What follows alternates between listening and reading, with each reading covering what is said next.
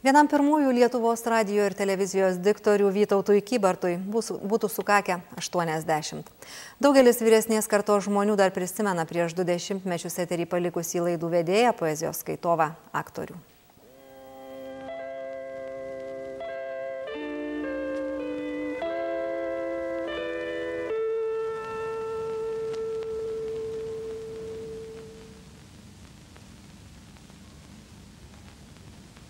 Dėmesio, kalba Vilnius.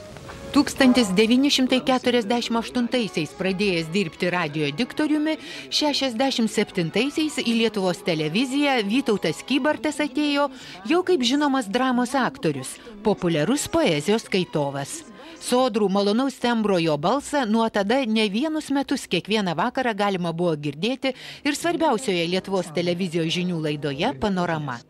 Šiltai savo kolegą prisimenanti Regina Jokubauskaitė sako, ji turėjus nepaprastą humoro jausmą, sugebėjimą tapti kiekvieno susibūrimo sielą.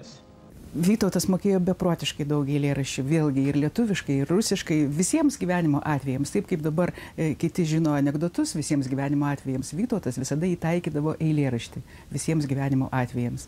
Ir kultūringa, ir gražu, ir pagal Vytautą. Regina prisimena, kad poetas Albinas Žukauskas Kybartui yra dedikavęs savo eilėraštį. Kai kuriuos jo žodžius Kybartas dažnai pavartodavo bendraudamas su kolegėmis. Ten yra tokia frazė apibūdinanti moteris. Gražuolių gražulaitis.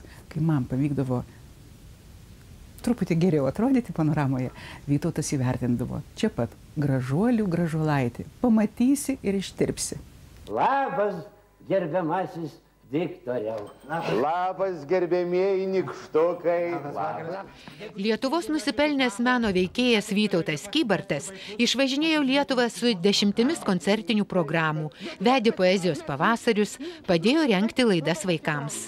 88 metais, jau sirgdamas ir jausdamas artėjant saulėlydį, jis įskaitė paskutinę poezijos valandą, tarsi žinodamas, kad iš Lietuvos išėjęs, joje vis tiek pasiliks. Ar šiaip ar taip, ar šiaip ar taip, blizgučiai paauksuoti, dar niekam proto ir garbės nepaėgė atstoti.